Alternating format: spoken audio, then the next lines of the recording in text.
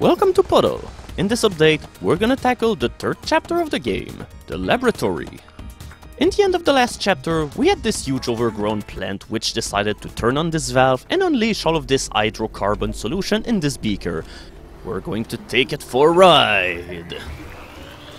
First of all, I'll showcase the retard way of doing this level, but it is so fun because you can rush forward like a crazy madman with no worry in the world. Uh, oh god, there are lots of worries when you're doing it this way. Yeah, for some reason, all of the table into the laboratory is filled with fire, so I really don't know what this guy is trying to achieve, except maybe setting his entire lab on fire because our solution appears to be really inflammable. So now we're gonna play this level the way it is meant to be played. And yeah, those test tubes are really dangerous because even when they're slowly spinning around, they can still knock your beaker all over the place. Yeah, you're supposed to go slow whenever you're taking those turns and all of this, but I just find that doing it with high speed is a lot more convenient for you to do. And yeah, don't underestimate those platforms. They can be tricky, but the thing is, they don't really tilt all that often, so usually you'll be in the clear. Ah, these test tubes get in the way even when they're not moving. How about that? I knock you out of the way, you useless test tube. Uh, oops. We better get out of the way. That red light is bad news. So you might think that we've done all of this for nothing, considering that we avoided setting our liquid on fire for absolutely no reason, but yeah, we just have to extinguish it here at the end of the level. So, while we're waiting for the level to end, I might as well just go right out and say that for me, this was the one chapter of the game where everything clicked for me. This was the one chapter which made me go, okay, this game is really, really great. There's some pretty good variety in the stages that we see in this world, and also the gimmicks are pretty appealing. So I'm gonna do this level again mainly in order to manage to do the retard run properly by simply rushing forward and yeah, we just set the entire lab on fire. Yeah, I lost so well that I had the triumphant fanfare at the end. Uh, oh shit, uh, okay, uh, I think I'm still good, maybe? No, uh... oh my god. Yeah, I think this is my favorite level in the entire game right here. Just because I'm a sucker for all of this quirky entertainment. So there are two parts in the level that are really hard to go through when you're doing this level at a rush. The first one being the test tubes, the second one being this part. Yeah, I was really lucky here, because usually when you get to this one part, your beaker will hit the floor that is strangely bumpy and then your entire liquid will spill over and will die. But here we go, we've managed to do the successful Moron run properly. Honestly, I had my mind blown when I figured out that doing this in this level was possible. I don't think the designers wanted you to do this that way considering that, well, the part time is pretty much out of the scale, but hey, we'll take that. And you can sort of do this on extreme as well, but it'll be a whole lot harder. We'll talk about it a little bit more later. But right now, let's go to the second level before I spend like 15 minutes on the first stage over and over again. Lasers and Beakers! The main theme for the rest of this video will be buttons.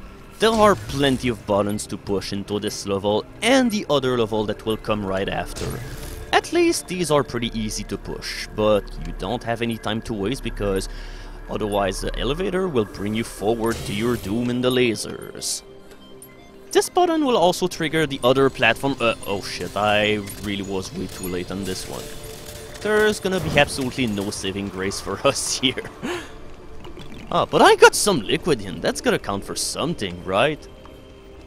Uh, well, it would if the gate will open, but unfortunately my liquid all melted away. You really have to not waste any time whenever you're hitting the final button in the vertical elevator stretch, because if you hacked way too late, you've seen what happens. So let's do it again with a little bit less stupid this time around.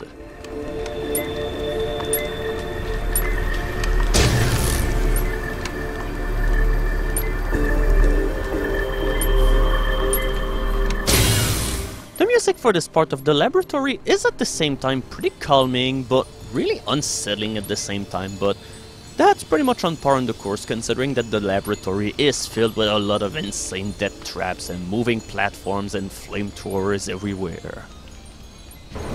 Uh-oh. Yeah, I really shouldn't have done what I just did right here. Normally, you take the ride really slowly on the moving platform in order to get to the extinguisher, and then you gently tilt the screen in order to make the beaker fall on the switch, which will turn off the fire, but now our entire liquid is on fire because, obviously, since the liquid is inflammable, the entire fire will spread. Oh my god, are we going to make it in time to the exit? Oh my god, I really cannot believe it. I really do not deserve this victory at all. That was way too close.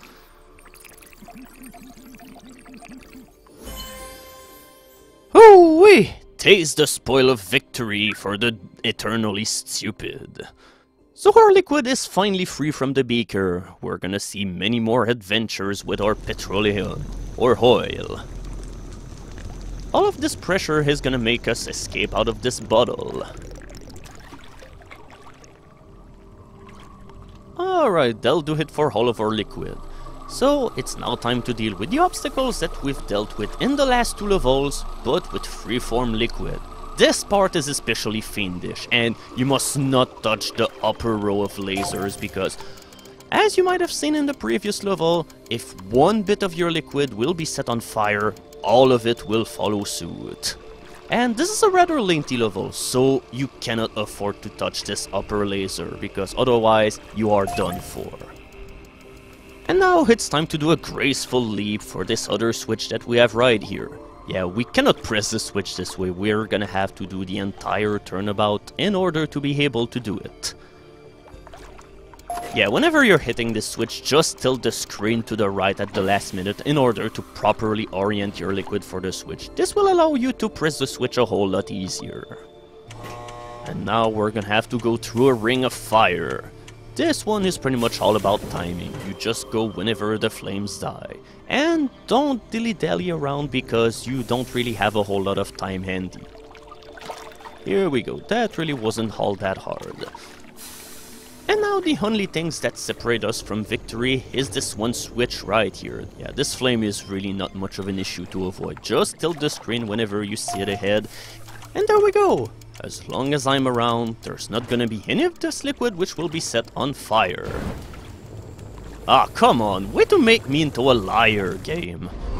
But no, that's the next step of our petroleum. It's gonna evolve in order to become something magnificent. But we're gonna have to wait until the next video in order to see what we're gonna be playing as. In the meantime, let's go look at the extreme difficulty changes in the last three levels that we just played. The main change that you'll see in this level is in the way that the platforms tilt and also their frequency. Not only the platforms go down a whole lot more, but they do it at much frequent intervals, so it's kinda impossible to rush through this section. Just in case that you found the elevator sequence to be rather tedious in level 2, well good news, extreme difficulty solves this issue because the buttons are now a whole lot harder to press because yeah, you can see that they've got slight of a resistance to them. Whenever you'll be pressing of them, you can see that they actually make your jar bounce all over the place.